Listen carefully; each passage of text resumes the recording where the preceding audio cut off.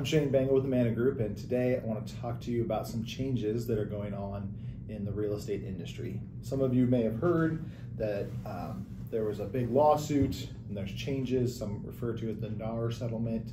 Um, there was a big lawsuit, uh, Sitzer versus Burnett, and made a lot of changes in the real estate industry. So it's not as prevalent, I would say, in the state of Washington or Idaho because they were a little ahead of the curve in how they handled business. But in some other states, there it was very common for real estate agents to go and say it costs X amount, and generally speaking, I'd say it was right around six percent. Say six percent to list your home, and what sellers were not aware of was that they were offering three percent, half of that commission, to a buyer's agent, and what we would call cooperating commission.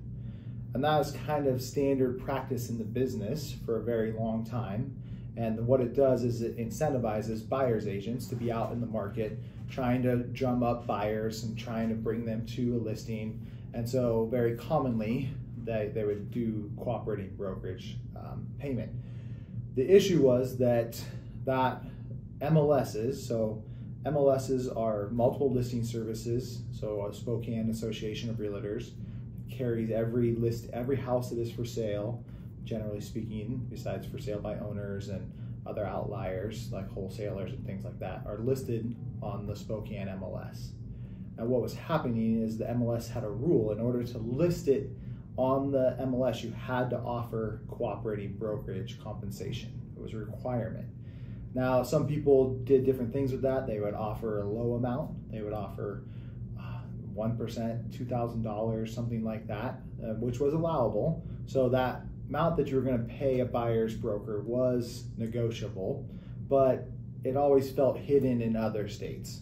Um, it would just, they say, hey, our listing fee is 6%, and they wouldn't even tell a seller that they were giving 3% to a buyer's agent. So sellers sued saying, hey, it's not fair that I was paying for somebody else's services there was no expectation in the industry that they would win this lawsuit because it had been kind of a standard practice. It is it is explained in the contract. It's not like hidden. Um, however, they did win the lawsuit, which created a huge antitrust settlement. Um, unfortunately, lawyers are going to make the vast majority of that money that is available, so kind of a bummer for all of us. But it has caused some big changes in our industry. So now, no longer on the MLS, can you list what would be what we call cooperating brokerage uh, compensation? So you can't offer on the MLS say, hey, I will pay a buyer's agent 3% if you bring me a buyer.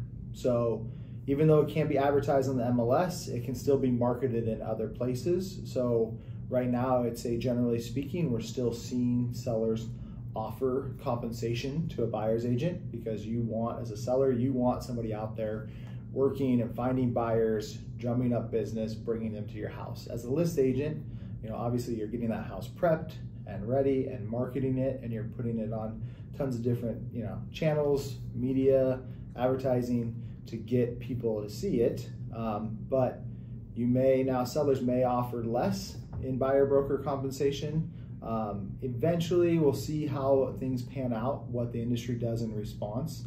In the immediacy, we have seen a national slight reduction in what we call buyer broker compensation. Um, that has reduced a little bit, so that's saving sellers a little bit of money. But now, list agents, they've always been having the conversation saying, hey, I generally, in Washington, Idaho, it's, you know, I list for X amount and then I offer X amount to incentivize buyers, buyers agents to come look at the home. Um, that's been pretty standard in Washington and Idaho. Um, so that's not really going to change on the list side, but now buyer's agents need to be able to articulate what their value is and why they're worth what the compensation is that they're getting paid.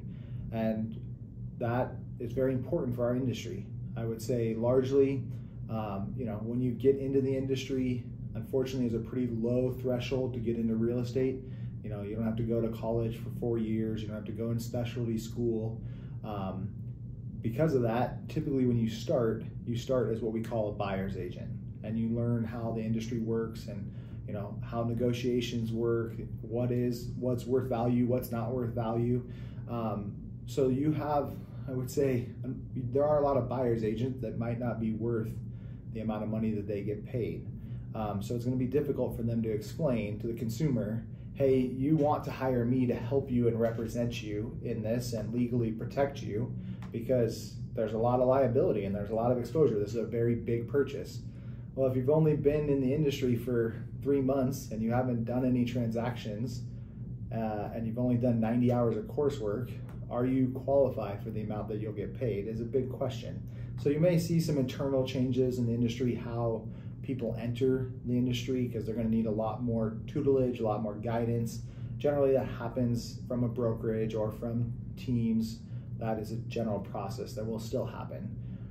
Overall, I think this is a net positive for our industry and for real estate as a whole.